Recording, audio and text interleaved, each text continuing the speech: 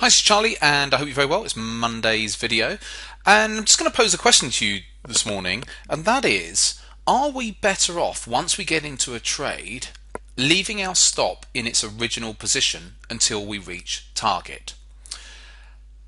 With the increased volatility that we have in the currency markets and the markets generally speaking, um, stock markets as well, um, what we're finding is that markets are having these you know, nice pushes, but in both directions. And so what you can find is that your analysis might be right, and that you get into a trade, it runs, you might trail your stop up a little bit, you think you're doing the right thing, moving your stop up to maybe break even or whatever, the market moves back down, seems to stop you out, only to then reverse and then go back up higher again. And um, we all experience trades like that.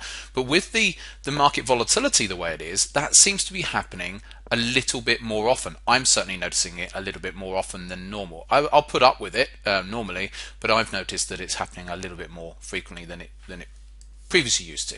So let's give you an example here. So let's bring up the um, pen and so I've just got this on a daily chart of the euro here. But let's say for whatever reason, after this pullback, you've decided to get long. You get in long over here. It starts going up, and a typical and the initial stop loss is let's for argument's sake down here.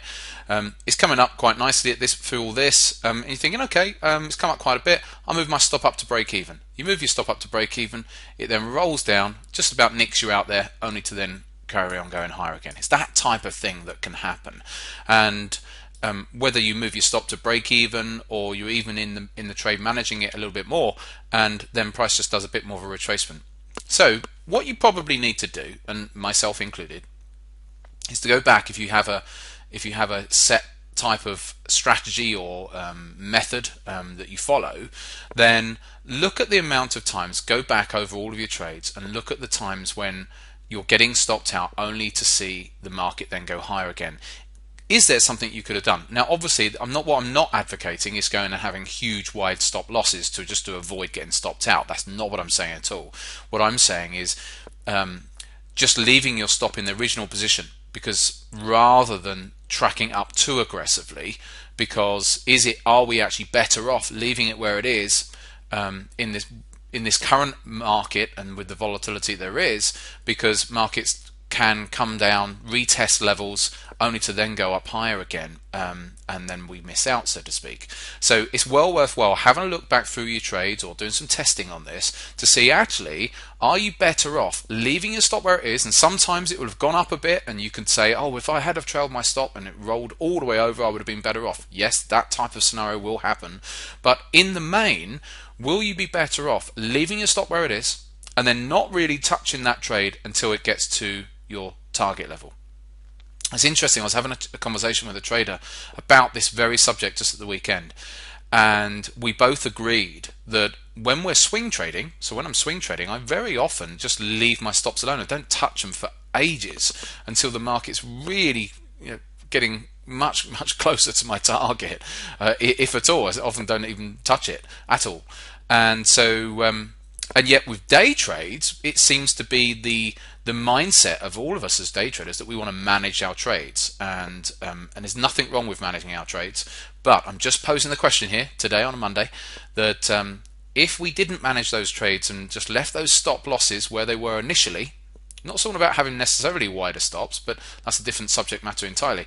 But just having your stop at its original position and then just leaving that, are you actually better off in doing so rather than moving up to break even only to find it rolling over. Some people will find that um, they're better off leaving their stop where it was, and other people will find that actually no, uh, bring it to break even actually does make a difference. It depends on the type of trading that you do. Obviously, there's certain sort of styles that where they're actually you are actually better off moving it up to break even once once it's um, once it's bounced, uh, started moving in your direction. I don't know, maybe a counter trend trader might be better off that way. I don't know. So, um, by all means, let me know what your views are on that about trailing um, stops and, and your own experiences on on that uh, with regards to markets moving up, coming back down, and stopping you out, only to then go higher in your analysis overall having been correct. So I shall leave that with you today. Um, there's not really too much to say. Obviously, we've got ECB this week on Thursday, so that's going to be a big one this Thursday, and so um, that will really have an impact on the euro dollar, euro against all the major currency pairs. So um, really be watching and seeing what happens with um, the euro dollar, especially um, going into or after after ECB, and um, we'll see how the markets react.